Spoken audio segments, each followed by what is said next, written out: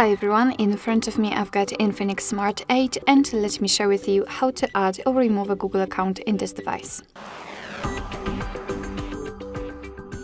So let's start with opening the settings and then we have to scroll down in order to find either users and accounts or Google. You can do it uh, using those two different options. I prefer this one, so let me tap on it and then simply tap on add account. Now let's choose Google and make sure that you've got the internet connection because it is required for this operation. From this step we can either create a new account if you do not have your own yet or simply type your email or phone, so let me do it and then tap on next. Right here we have to enter the password and let me do this out of the screen.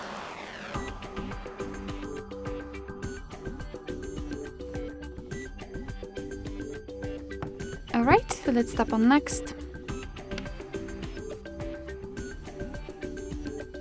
Here we've got Google Terms of Service and Privacy Policy, so you can simply tap on it to learn more and then tap on I agree. Right here we've got the um, backup and storage section, uh, so let's simply tap on accept and as you can see we just successfully added our Google account to this device. Of course you can always remove it, just tap on it and tap on remove account. Tap on remove account again and as you can see it will immediately disappear.